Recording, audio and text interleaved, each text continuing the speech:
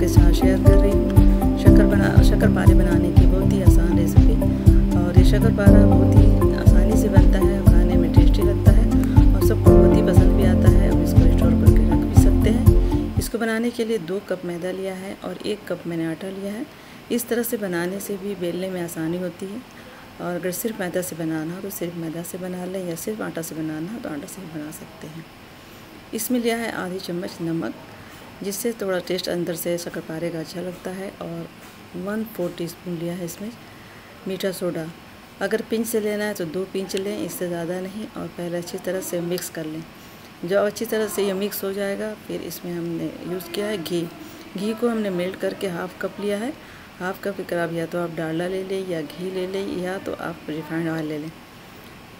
इसमें अच्छी तरह से मिक्स करेंगे। अगर आपको लगता है कि अभी हमें इसमें और ऑयल की ज़रूरत है तो जब हम अच्छी तरह से इसको मल लेंगे कि आटे में अच्छी तरह से घी लग जाए तो फिर चेक कर लेंगे, लेकिन ये मेज़रमेंट बिल्कुल सही है और इससे काफ़ी खस्ता भी बनता है।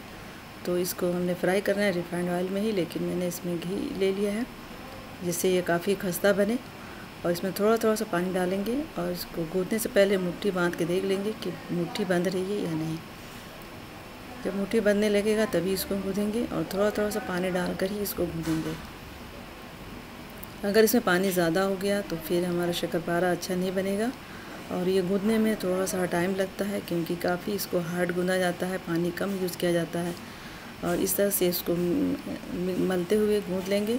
पानी डालने की कोशिश नहीं करेंगे और थोड़ी देर के लिए अगर नहीं हो रहा है तो थोड़ी देर के लिए इसको छोड़ देंगे। ढक कर छोड़ देंगे और पाँच मिनट के बाद फिर से गूँधेंगे तो ये अच्छी तरह से गूँध जाएगा। कोई भी खस्ता समोसा भी बनाना हो तो इसका आटा इसी तरह से गूँधा जाता है और काफ़ी खस्ता बनता है।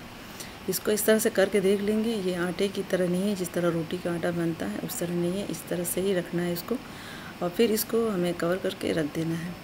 इसके बाद अगर हम बेलेंगे तो बहुत ही आसानी से बेल जाता है और जब मैदा होता है, वो भी आसानी से बेल जाता है। तो 10 मिनट के लिए इसको रखें रेस्ट करने के लिए या फिर उसके बाद इसको बेलें। तो मैंने इसको कवर करके रख दिया है। और 10 मिनट के बाद ही मैंने इसको बनाना शुरू किया था। अब इसको पेड़ा जो है, इसका बड़ा बड़ा लेंगे क्योंकि शक्कर मोटे मोटे ही बेले जाते हैं, पतले नहीं बेले जाते हैं। अगर हमें कुछ और बनाना है तो फिर पतला बेलना होता है, उसमें और भी ज़्यादा थोड़ी सी मेहनत होती है क्योंकि पतला बेला जाता है। लेकिन शक्करपारा बनाना आसान होता है क्योंकि इसको मोटा ही बेलते हैं और इसके थिकनेस को देख लेंगे, बहुत ही ज़्यादा पतला भी ना हो और बहुत ही ज़्यादा मोटा भी ना हो। और ये स्क्वायर शेप शेप में या रेक्टेंगल में, जिसमें आपकी मर्ज़ी, उसमें काट लें। ये हमारी थिकनेस थी इसकी और इस तरह से हमने इसको बेल लिया, अब इसको हम काट लेंगे।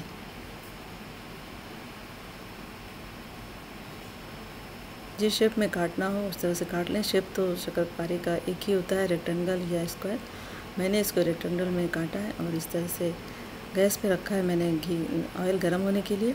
बिल्कुल ज़्यादा गर्म नहीं होना चाहिए, बिल्कुल हल्का सा गर्म होना चाहिए, कढ़ाई बिल्कुल गर्म हो और इसमें ऑयल हो। और इतना ही गर्म होना चाहिए, अगर ज़्यादा गर्म हो गया तो फिर शक्कर खस्ता नहीं होगा और जल्दी से इसमें बबल्स आने लगेंगे तो अंदर से शक्कर खस्ता नहीं बनेगा। तो ये हमारा ऑयल गर्म हो गया है, इसमें छोटा सा पीस डाल के देख लेंगे। अगर इसमें बड़े बड़े बबल्स आ रहे हैं तो गैस बंद कर दें और जब ऑयल ठंडा हो जाए थोड़ा तभी डालें। तो अभी मैंने ये डाला है शक्कर को। तो देखिए इसमें थोड़ा थोड़ा सा बिल्कुल बारीक बारीक बबल्स आ रहे हैं और ज़्यादा बड़े बड़े या उबलता हुआ नहीं हो रहा है। तो ऐसे ही होना चाहिए क्योंकि धीरे धीरे ही अपने आप ही ऊपर आने लगेगा।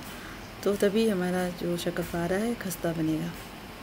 इसमें बिल्कुल हल्के हल्के से बबल्स आ रहे हैं और इसी तरह से हम इसको थोड़ा सा नीचे ऊपर हल्के से कढ़ाई में जो डाला है, इसको हिला देंगे और फिर छोड़ देंगे। पाँच मिनट, छः मिनट लगेगा, फिर धीरे धीरे ये अपने आप ही थोड़ा सा ऊपर आ जाएगा। तो इस तरीके से ही बनाना है इसको और ये इस तरीके से होने लगा है। इसमें ऊपर ऊपर से झाग आने लगे हैं लगे हैं, लेकिन अभी भी हमें इसको थोड़ा सा हल्का सा क्योंकि बिल्कुल टूटने ना लगे, इसको हिला लेंगे हिला लेंगे। हिला लेने से जो नीचे, जो ज़्यादा सिक ना जाए, इसलिए इसको पहले हिला लेंगे। लेकिन अभी थोड़ी देर बाद जब हल्का सा ये स्टिप हो जाए थोड़ा सा टाइट हो जाए, तभी हम इसको पलटेंगे। बहुत ज़्यादा देर तक भी इसको स्लो फ्लेम पे नहीं छोड़ना है, नहीं तो ये टूटने भी लगेगा क्योंकि काफ़ी खस्ता होता है। तो इस तरह से हमने बीच में गैस का फ्लेम मीडियम कर दिया था। हाई तो करना नहीं है, बिल्कुल मीडियम टू लो ही रखना है और इस तरह से कलर आने आने लगे इसका। ऐसे पता चलने लगे, देखने से ही लगता है, बीच बीच में से एक लाइन सी बन जाती है तो जिससे लगता है कि काफ़ी खस्ता हो गया और कलर भी चेंज हो जाता है। तो ये ये जो प्रोसेस है थोड़ा धीरे धीरे होता है फ्राई करने वाला तो इस तरह से हमने फ्राई कर लिया। अब हमें इसकी चाशनी बनानी है।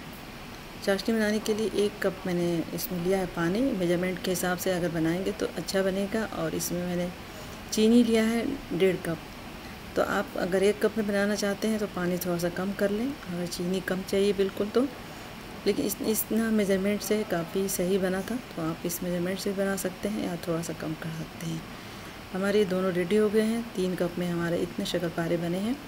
उसी हिसाब से मैंने चीनी लिया है और चीनी में अच्छी तरह से मेल्ट होकर और पक गई है। पाँच छः मिनट में उस चीनी अच्छी तरह से शक एक चाशनी बनना चाहिए। देखने से शहद टाइप की थोड़ी थिकनेस बिल्कुल पतली चाशनी नहीं होती है ठीक होती है और इस तरह हाथ से देखेंगे तो इसमें दो तार की चाशनी बननी चाहिए।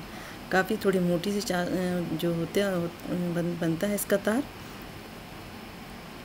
अब गैस का फ्लेम बंद कर दिया था मैंने और इसको हम, मैंने इसको गैस का फ्लेम को ऑन किया और इसके साथ बिल्कुल लो फ्लेम पर इसको डाल दिया।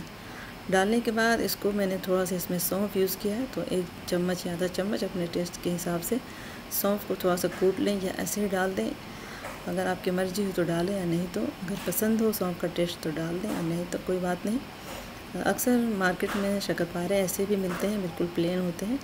तो गैस का फ्लेम लो रखते हुए हम दोनों तीनों तरफ़ से अच्छी तरह चारों तरफ़ से चला लेंगे। और जब हमें लगेगा कि शक्कर पार, शक्कर जो है अच्छी तरह से इसमें कोट होने लगे हैं तो फिर हम गैस का फ्लेम बंद कर देना है। बंद करने के बाद अभी ये गर्म ही है तो थोड़ा थोड़ा इसको चलाते रहेंगे कि काफ़ी, आपस में चिपके नहीं और कहीं से कोई इसमें नमी ना रह जाए। इस तरह हमें पता भी चल जाता है कि हमारे सारे शक्करपारे पे चीनी जो है कवर्ड हो गई है और देखने से पता लगने लगता है और ठंडा होने के बाद ही ज़्यादा पता चलता है। तो जब ठंडा हो जाता है तो देखने से लुक और होता है, अभी थोड़ा सा गर्म होता है तो थोड़ा लुक अलग होता है। लेकिन जब गर्म रहे तभी चम्मच से इसको अलग अलग कर ले नहीं तो आपस में जुड़ जाता है तो फिर अलग करते हैं तो टूटने भी लगता है। तो इस तरह से हमारा शक्करपारा तैयार हो गया है, जो काफ़ी क्रिस्पी और खस्ता बनाना है।